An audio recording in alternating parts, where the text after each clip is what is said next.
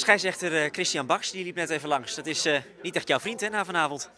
Nee, hij, uh, hij, hij durfde hem ook niet echt aan te kijken volgens mij. Maar ja, ja dat, dat is voetbal. we vroegen of hij nog even een reactie wilde geven op het penalty moment. Want daar gaan we natuurlijk heen. Hij zei, ja, ik ga geen reactie geven, want ik heb de beelden gezien. Het was voor mij hartstikke duidelijk.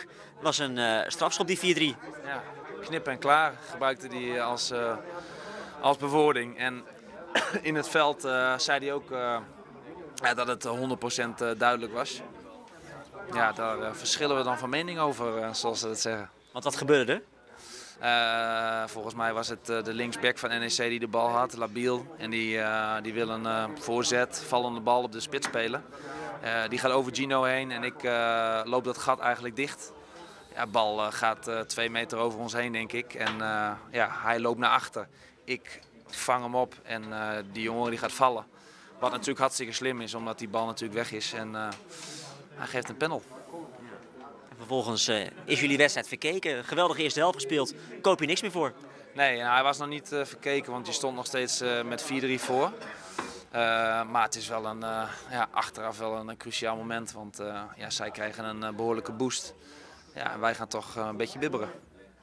Over die eerste helft gesproken, dat was toch bij Vlagen genieten?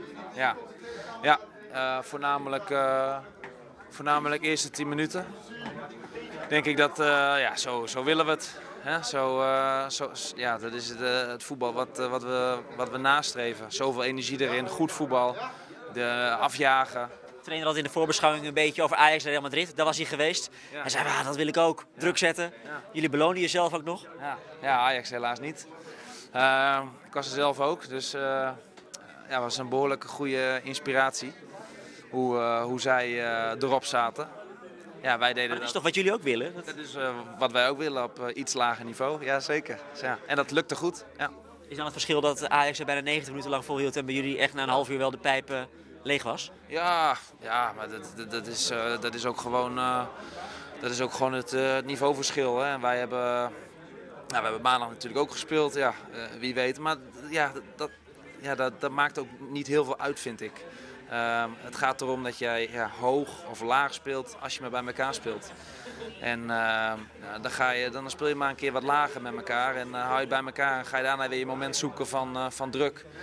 Eh, als je maar volle bak doet. En ja, natuurlijk willen we allemaal vooruit. Dat is het mooiste. Als je daar ballen af kan pakken, meteen naar die goal toe. Ja, dan, dan, dan. Alleen, ja, het, het is ook een feit. En uh, dat dat niet uh, altijd lukt, dat, dat lukt bijna geen enkel elftal. Je speelt 4-4. Je maakt weer uh, twee doelpunten. Je hebt er vier gemaakt in vijf dagen. Afgelopen maandag vroeg ik je, heb je ooit twee keer gescoord? Toen zei je voor het laatst in de jeugd. Wanneer heb je voor het laatst vier keer in een week gescoord? Ja, D1 van FC Groningen. Ja, toen was ik negen. En toen speelden wij met de D1 tegen de C1 van alle amateurclubs in de buurt. Toen was het elke wedstrijd 10-0 of uh, 10-2. Stond ik nog wel linkshalf of op nummer 10. Ja, toen uh, is dat ook wel eens gebeurd, ja. Ben jij de oplossing voor het doelpuntenprobleem van Go Ahead Eagles? Nou, lijkt me niet verstandig. Nee, dan uh, gaan we weinig punten meer pakken. Want, terwijl ik het zeg, denk ik, ja, eigenlijk ook een rare vraag, want jullie maken er acht in een week. Ja. Wat dat betreft is dat natuurlijk ook wel opvallend. Jullie hebben heel veel moeite met scoren. Ja, ja en er zaten ook wat doelpunten tussen die, uh, die wij nog niet zoveel dit seizoen hebben gehad. Uh, vrije trap en een panel. En uh, ja, het is, wel, het is wel fijn dat die natuurlijk dat die nu wel vallen. En misschien moeten we daar wel wat vaker naar op zoek.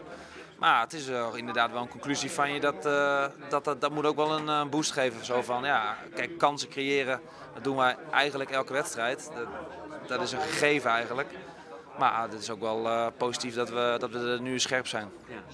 Ja. jullie spelen gelijk, Den Bosch doet dat vanavond ook. In Enschede, een paar kilometer verderop, lachen ze zich suf.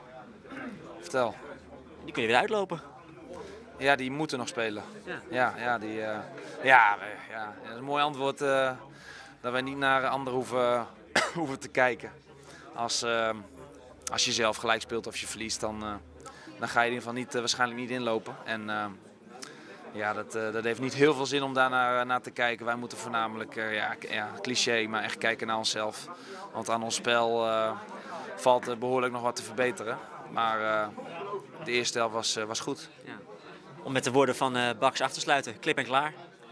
Van Is van Baks of van Christian Baks? Als Christian Baks. Ja, Christian, ja floten Is van Baks, maar Ja, dat was misschien wel beter geweest. Ja. Zou die, goed- zou die goed kunnen fluiten? Oh, ik denk dat Isvan wel een beetje, eh, een beetje charisma heeft. Ja. Die, eh, Helemaal niet partijdig ook. Nee, die, eh, die had ook gewoon doorgespeeld bij het vuurwerkmomentje. Dus, eh, want er was nog maar een half minuut te spelen. Nee, die, eh, die had het beter eh, gedaan.